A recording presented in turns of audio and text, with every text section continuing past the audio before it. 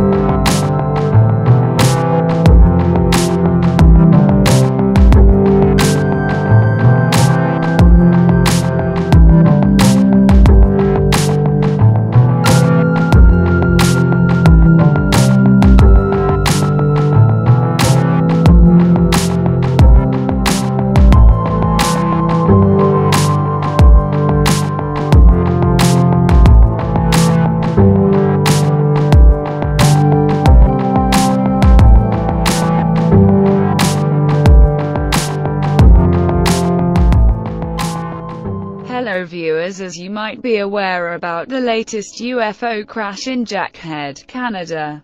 Canadian military is trying hard to cover it up but, they're forgetting one thing this is year 2015.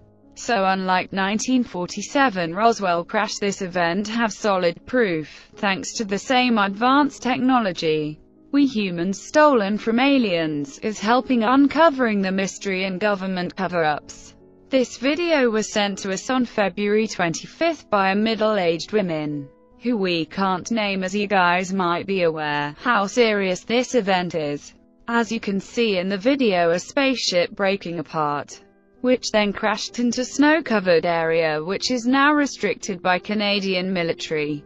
But this video is proof there is some sort of small rescue craft detached from crashing ship which then pauses for few milliseconds maybe to see where main spaceship might crash, which then quickly flown away into opposite direction.